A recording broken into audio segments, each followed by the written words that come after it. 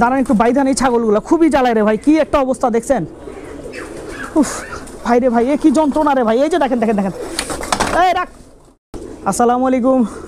দর্শকবৃন্দ, কেমন আছেন আপনারা সবাই? তো সেদিন আমি আসলে আপনার ছাগল বলছিলাম ভিডিওতে যে ছাগল কিনলে আপনাদেরকে জানাব। আমরা কিন্তু ওই দিনই ছাগল কিনছি। কিন্তু আপনার ছাগল বলতে খাসি কিনছি আমরা, তিনটা খাসি কিনছি। এই যে একটা, এই যে একটা, এই যে একটা।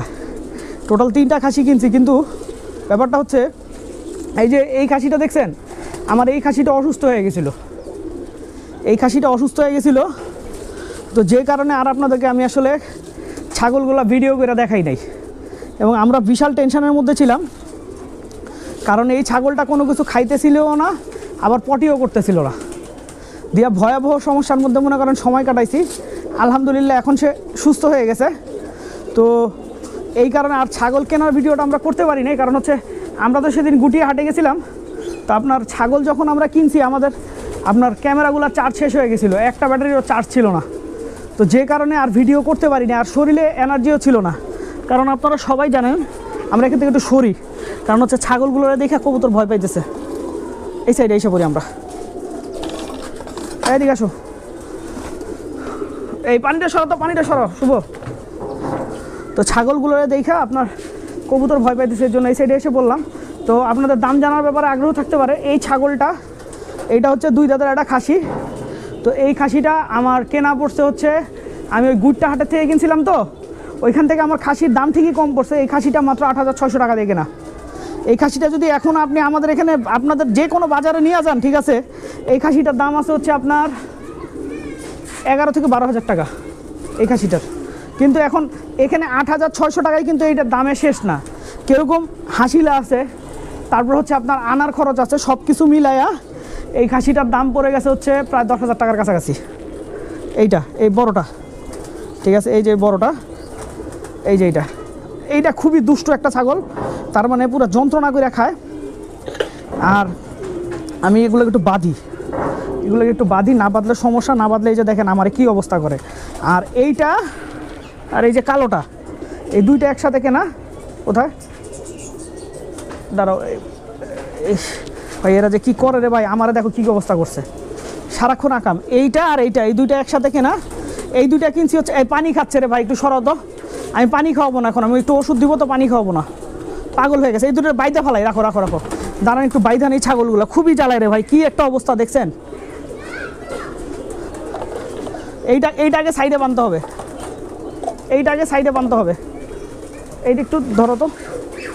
উফ, ভাই রে ভাই, এ কি যন্ত্রণা রে ভাই, এই যে দেখেন দেখেন দেখেন। এই রাখ। সাধে ছাগল বলে এইটা রে। আসলেই ছাগল। হুশ বুদ্ধি কিচ্ছু নাই। এই যে ছাগল আমি শুরু করে দিল। এখন আমি রশিটা একটু ছোটো করে বাঁধবো।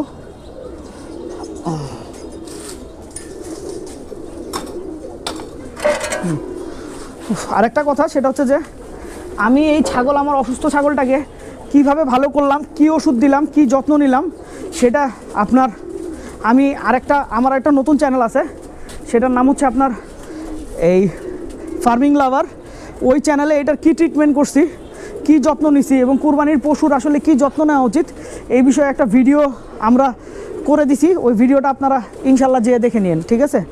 তো যেটা বলতেছিলাম তো আপনার এই দুইটা গেছে হচ্ছে এই যে এই যে কালোটা আছে না? এই কালোটা আরও সুঠাম দেই ছিল ছাগল, আমি আগে কেনার কারণে একটু শুকাইছে। এই যে এইটা আর এইটা, এই দুইটা কেনা হচ্ছে তেরো হাজার টাকা দিয়া। হাসিল দিছি হচ্ছে পাঁচশো টাকা। ওইখানে হাসিলটা একটু কম। হাসিল দিছি হচ্ছে পাঁচশো টাকা আর আপনার এই আনার খরচ যদি ধরেন সব কিছু মিলাইয়া এই দুইটা চোদ্দ হাজার টাকা চলে গেছে, এইটা আর এইটা। এই দুইটা চোদ্দ হাজার টাকা খরচ গেছে এই দুইটাতে, ওকে? এইটা আর এইটাতে। দুইটা মিলে চোদ্দ হাজার টাকা খরচ আলহামদুলিল্লাহ চলে গেছে। তো ইচ্ছা আছে, বাকিটা আল্লাহ মাবুদ জানে আর একটা খাসি কেনার ইচ্ছা আছে। ইচ্ছা আছে আর একটা ছাগল কিনবো।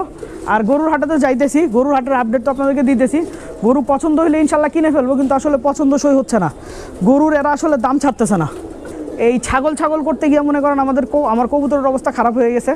কারণ হচ্ছে এই ছাগল টাগল এগুলো নিয়ে ঘোরাঘুরি করতে গিয়ে কবুতরের সময় দিছি কম। সেক্ষেত্রে একটু সমস্যা টমস্যা হয়েছিল, তো আলহামদুলিল্লাহ এখন সুস্থ হয়ে গেছে। আপনার এই যে কবুতরগুলোর আমার একটু মনে করেন একটু দুর্বল হয়ে গেছিল ছোটো বাচ্চাগুলো, রাখ ওই সাইডে ওই সাইডে দেখো আমার আমার কবুতরগুলো অনেকটা দুর্বল হয়ে গেছিল। বিশেষ করে বাচ্চাগুলো একটু সমস্যা হয়েছিল। কবুতর বলতে বাচ্চাগুলো একটু সমস্যা হয়েছিল, আলহামদুলিল্লাহ। এখন ওরা সুস্থ আছে। তা আমি যে কাজটা করছি, ওদেরকে ওদের একটা এক্সট্রা কেয়ার নিছি, সেটা হচ্ছে যে ওদেরকে কবুতর ইর সাথে কার্মিনাটা একটু বাড়াই দিছি। কারণ হচ্ছে যে কবুতরের যখন হজমে প্রবলেম হয়েছে, আসলে কি আমি কবুতর না খাওয়ায়, অন্য কেউ কবুতর খাওয়াইলেই কবুতরের একটা সমস্যা সবার আগে হয়, সেটা হচ্ছে হজমের সমস্যা। এইটা একদম অ্যাজ ইউজুয়াল সবসময় হয়ে যায়। এবং হজমের সমস্যা হয়েছে, আলহামদুলিল্লাহ, আমরা সিম্পল কিছু ওষুধ খাওয়ায় সেটা সারাই নিছি। সিম্পল কিছু ওষুধ বলতে, আমি কার্মিনাটা একটু বাড়াই দিছি। আপনার, আর আরও একটা সমস্যা হইতেছে, সেটা হচ্ছে যে আমি কবুতর ছাড়তে পারতেছি না। কেন ছাড়তে পারতেছি না? ছাদে ছাগল থাকতেছে।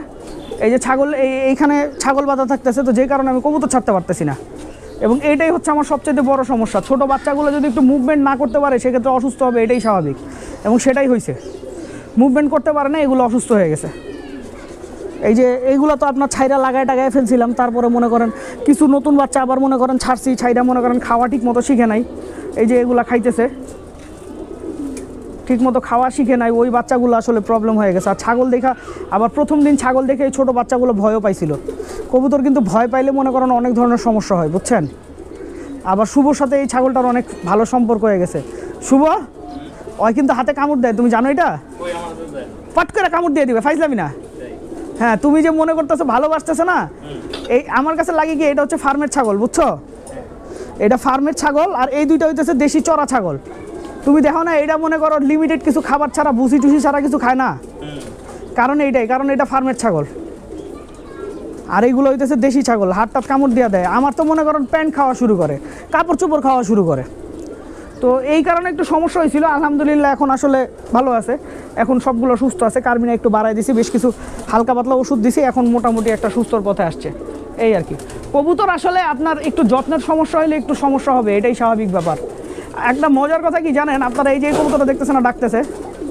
এই কবুতরটা আমি চিনতে পারতেছি না। এই কবুতরটা চিনতে পারতেছি না বলতে এটা আমার বাড়ির বাচ্চা। কিন্তু এটা কোন কবুতরের বাচ্চা আমি মনে করতে পারতেছি না। কারণ হচ্ছে এই কবুতরটা এবার মোল্টিং যায়, এমন একটা কালার আসছে যে এই কবুতরটা রুপি চেঞ্জ হয়ে গেছে। এই কবুতরটা ছিল কিন্তু সাদা জিরা গলা। যদ্দূর আমার মনে আছে, সাদা জিরা গলা টাইপের এই টাইপের আমার কটা কবুতর ছিল।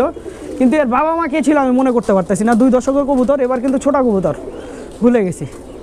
তো যাই হোক, দর্শকবৃন্দ, আপনারা সবাই ভালো থাকবেন এবং আমার নতুন চ্যানেলটার জন্য দোয়া করবেন।